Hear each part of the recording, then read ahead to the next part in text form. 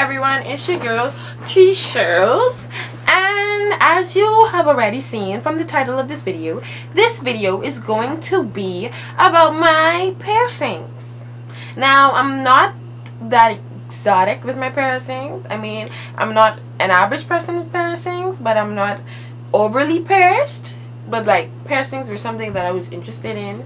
And I had asked my mom to get my anyway I'll explain in the whole piercing process. So my first piercing which is usually everyone's first piercing will be my lower lobe piercing the bottom one. You see right there with the diamond stud.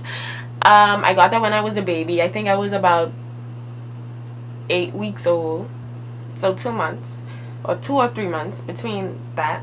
And then my second piercing was my second lobe piercing where the infinity where the infinity earring is. That's my second piercing. I got that when I was 18 years old because my mommy is not a fan of piercings. So I had to wait until I was old enough. And then after that it was like I want more. And so one day I went and I got this piercing here. This is my second piercing in my cartilage, regular cartilage piercing right there. That was the second one. And it didn't hurt. It was like, whoa, I thought it was to hurt because I'm afraid of needles, which people kind of are like, how could you be afraid of needles and you have so many piercings? And I'm like, I don't know, but I'm afraid of needles.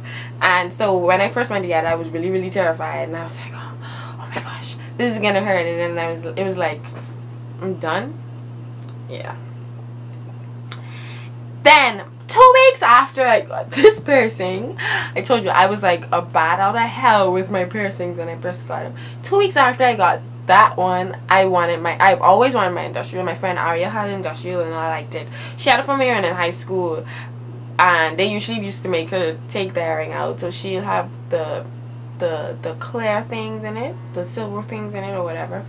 And so I went and I got my industrial and I was scared for that. And this is it so I've had this one about over a year now maybe two years probably two years now. And that one didn't hurt as much as it thought it would. It was like the first hole was good and then it was like okay and then it was over and then I was like are we done and he was like pretty much. I'm just putting the area. I'm like oh that was easier than I thought. I was like okay.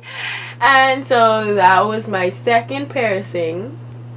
And then my third piercing would have been my forward helix, which is this right here, my forward helix.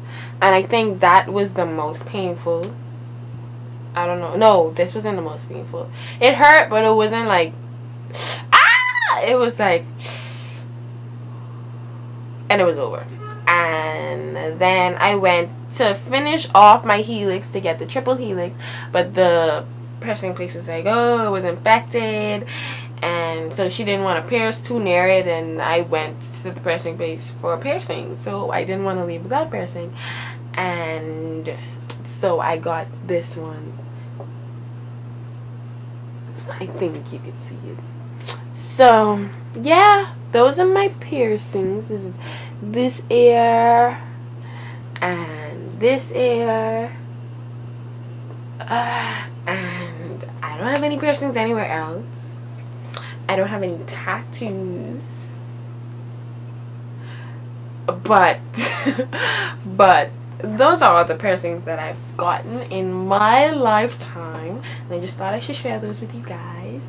But if you want to follow me on Instagram or Twitter or follow my blog that I just started a while ago, then you can click the links in the description below. My snapchat name is always also in the description also and always.